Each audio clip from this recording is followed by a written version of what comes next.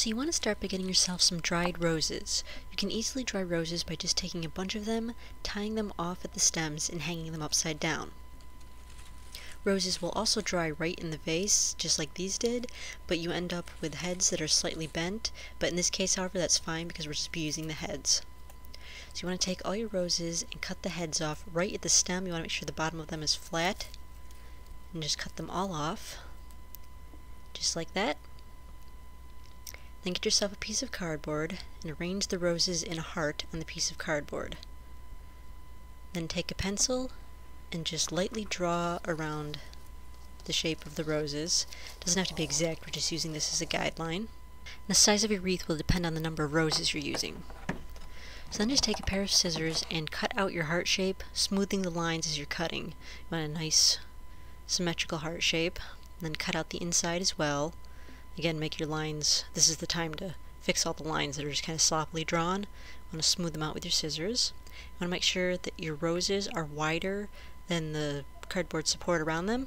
So then just arrange your roses in the order that you want them to go on the wreath, and take each head and put a little bit of hot glue on the back of it, and then press it onto the cardboard heart.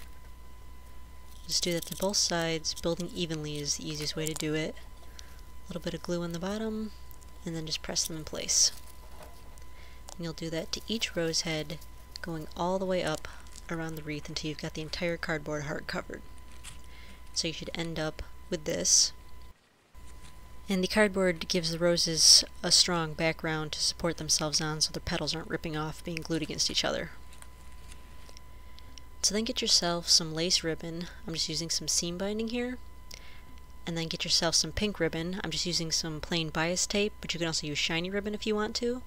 You're just going to put the two together, put a little dot of glue on the very ends, and then just glue those together. You can leave most of the rest of it loose, but a few inches down the line you want to put another little dab of glue. And then right about where that dab of glue is, you're going to start by making a loop. And then you'll twist the ribbon, and then you'll make another loop, and you'll twist the ribbon, and then you'll make another loop, and you'll twist the ribbon, you can make as many loops as you want, end up making six here, and basically you just go along making loops and twisting them each time, and that will keep the pink ribbon on the inside of the lace ribbon. So you'll just go until you have as many loops as you want, give it a final twist, and then just straighten out the tails. And then you just take a pair of scissors and cut off any excess. Then take another piece of the lace ribbon and just wind that around all the loops. It's just a short piece. And then you'll just tie that in place around all of those loops and that will hold all the loops in place to make your ribbon into a bow. Just cut off the excess tails. And so then just put a little dab of glue anywhere where your ribbon is loose. Any place you want the two to stick together if they're flying apart. Do the other tail. And then if any of the loops don't stay together, just put a little dot right in the center of the loop and glue it to the lace. And that'll hold them together just fine.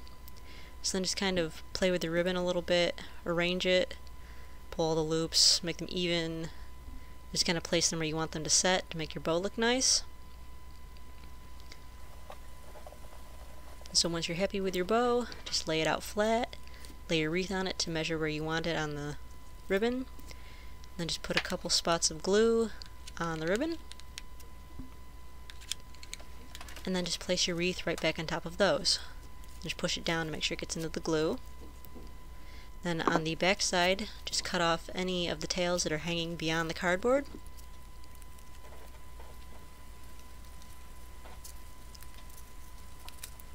And then the ribbon will be used as your hanger. So then here is the finished wreath. And you can really do this with any color of roses. It doesn't have to just be Valentine's Day either.